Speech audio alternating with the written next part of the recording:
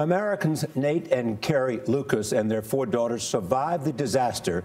They join us now from Rome. Good morning. Good morning. I know this must be an incredible and awful um, memory, but take us to the moment that you realized something was wrong. Uh, well, we didn't hear a lot of the noise that many of the other passengers had heard. Um, many people were up eating dinner. We uh, turned in early that night. We had a long day of travel, and so we had an early dinner, went to bed, didn't hear a lot. Um, however, something did wake me up.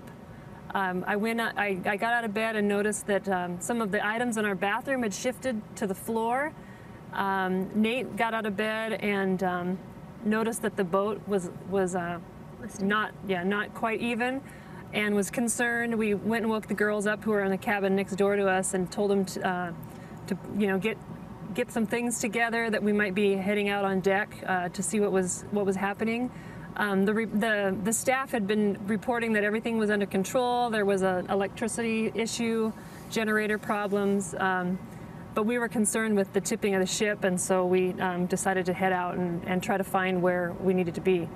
Mr. Lukes, what was the worst moment for you? Probably trying to find our way to the surface. We really were only on the ship for maybe four or five hours and uh, didn't have a chance to really learn our way around. So coming out in the dark with the children, and then once we got in the hall and more um, pandemonium, more people running around, you realize, hey, maybe this is kind of serious. We need to get to the surface, and we didn't even know what level the lifeboats were on. So we kind of went up the stairs and down the stairs and uh, I think Carrie finally noticed cold air blowing in from some doorway, so we made our way out to the deck there. And then there were a lot of people out there. But yeah, being in the in the corridors in the dark was you felt really vulnerable. This is the worst place you'd want to be, you know, disoriented in the dark and a boat that's starting to tip. Carrie, walk us through. There have been reports that, that, people weren't exactly chivalrous, to say the least. When everybody did get up on deck, there was more pandemonium up there. As you're trying to find the lifeboats and get in, walk us through what that was like for you. Okay, yeah, there were there were a few hysterical people, and um, on the inside, I was one of them. We calmly tried to get in line. Um, there were some crew members that were, you know. Uh, telling telling us, you know, five people in a line, five people in a line, and trying to be organized. That didn't last very long. People were pushing and shoving, and of course, everyone wanted to be first. Were you always together?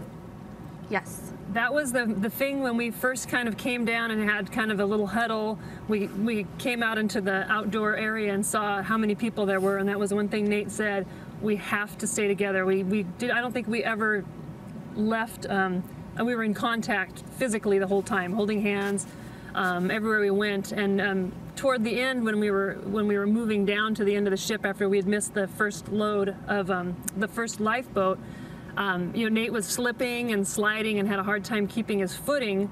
But um, you know, the biggest fear we had was losing one of the kids or one of us not getting off the ship. I can't even imagine how how awful that would have been. Nate, Carrie, Molly, Hannah, Isabel, and Lucy, thank you all for joining us this morning. Really appreciate you taking some time for us. Good luck to you.